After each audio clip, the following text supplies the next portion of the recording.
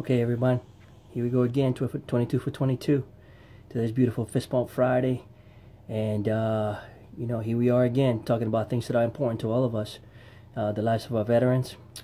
And uh, I just wanted to, you know, reach out to everyone out there and uh, say good job. There's a lot of people that are actually, you know, uh, holding up the, the, the, their word and uh, they're doing the challenge.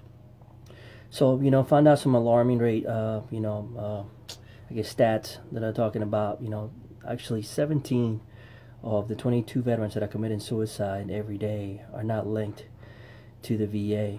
So I will say today, you know, I encourage you all to, uh, you know, go out there and reach out and you know talk to anyone that uh, that you know is a veteran and find out if you, you know if there's anything that you can do to help them.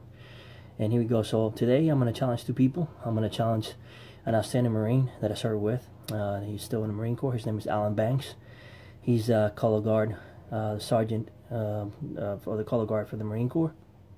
And a good friend of mine uh, is a real estate agent in uh, Virginia Beach, Tyson Bradley. He actually uh, wanted to volunteer to you know to do this and create awareness out here in our area.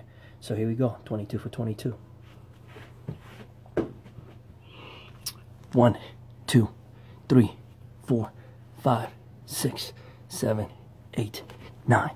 10, 11, 12, 13, 14, 15, 16, 17, 18, 19, 20, 21, 22. All right, guys. So that's the 22 for today. Go out there, make a difference in the world.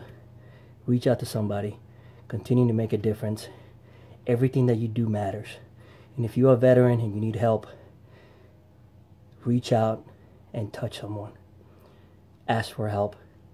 We all been through it. We all have things that are going on in our lives. But nobody does it alone. We need each other. Have a wonderful day and let's go.